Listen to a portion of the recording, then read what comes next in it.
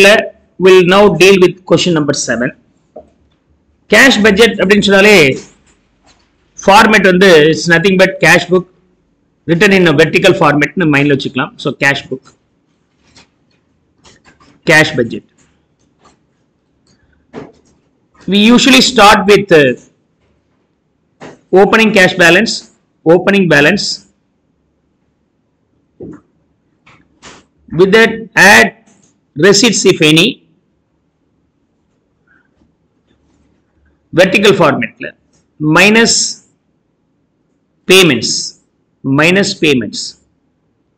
Finally you get the closing balance. The closing balance of a period becomes the opening balance for the next period. This will go period after period without any disturbances. So closing balance okay now so என்னென்ன point நீங்க மைண்ட்ல வச்சுக்கணும் அப்படி சொன்னாக்க opening balance receipts minus payments then you'll get the closing balance Period one period two எத்தனை period போட சொல்றாங்களோ அது வந்து மந்த் வைஸ் இருக்கலாம். ஃபர்ஸ்ட் மந்த் ஜனவரி பிப்ரவரி மார்ச் வச்சுக்கலாம். அல்லது குவார்டர் வைஸ் இருக்கலாம்னு சொன்னேன். இப்போ இந்த ஓப்பனிங் பேலன்ஸ் அந்த ஃபர்ஸ்ட் பீரியட் எவ்வளோ இருக்கு அதோட நீங்க ரெசிட்ஸ் ஆட் பண்ணுங்க. பேமெண்ட்ஸ் ஆட் பண்ணுங்க. அல்டிமேட்டா you get the closing balance the closing balance becomes opening for the next period period. என்னென்ன மாதிரியான ரெசிட்ஸ் வரும்னு சொன்னால் ப்ரிடாமினா கேஷ் சேல்ஸ் கிரெடிட் சேல்ஸாக இருந்தால் லேட்டர் பீரியட்ல you'll get the collection so collection from collection from debtors பேமெண்ட்ஸில் predominant அதே மாதிரி cash purchase as well as payment to creditors இருக்கும். பேமெண்ட் டு கிரெடிட்டாஸ் இருக்கும். ஃபார் த டிலைடு செட்டில்மெண்ட் அது இல்லாமல் எக்ஸ்பென்சஸ் பேமெண்ட் இருக்கும். Some special payments இருக்கும்.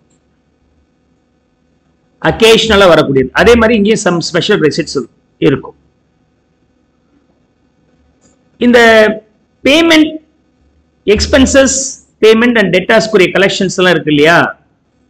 அதில் நமக்கு என்ன கொடுப்பாங்கன்னா லேகின் பேமெண்ட் அப்படின்னு சொல்லுவாங்க. Lag in payment one month delay ஆயிட்டு பேமெண்ட் பண்ணுறோம் இல்லை month after the next month கொடுக்குறாங்க.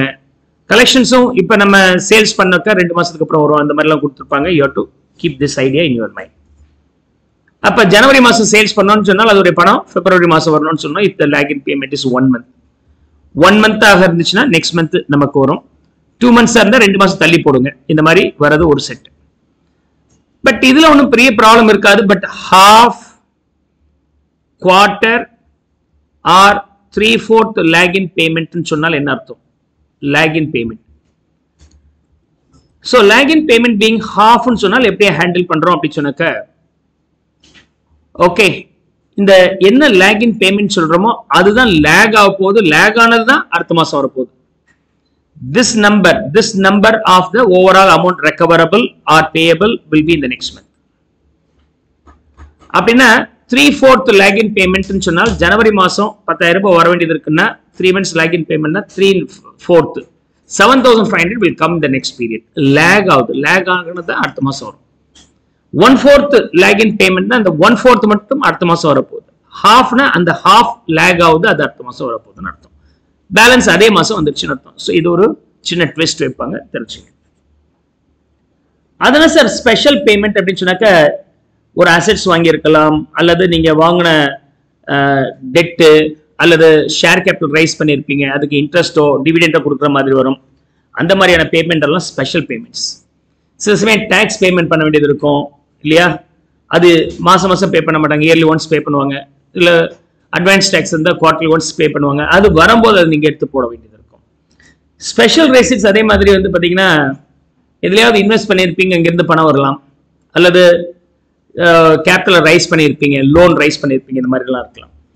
The closing balance you know that closing balance that closing balance sometimes may be adjusted for the minimum balance minimum balance அக்கௌண்ட்லையும் ஜாஸ்தி இருந்துச்சுன்னா invest பண்ணி வைங்க sir minimum balance அக்கௌண்ட்லையும் ரொம்ப ரொம்ப கம்மியா இருக்குன்னா make arrangements for overdraft or loan if there is any investment you can sell off அப்படின்னு சொல்றாங்க apart from the if there is any investment or loan in any of the previous period subject to any income or expenses in case of invest பண்ணி வச்சிருந்தால் income வரும் in case of these cases you have to pay the interest இதெல்லாம் நீங்க பேமெண்ட்ல incorporate பண்ண தெரியணும் so these are the ideas you have to keep in your mind some missing data மாதிரி கூட சம்ஸ் வரும். இந்த இல்லஸ்ட்ரேஷனை பொறுத்த வரைக்கும் மிஸ்ஸிங் டேட்டா மாதிரி இருக்கு.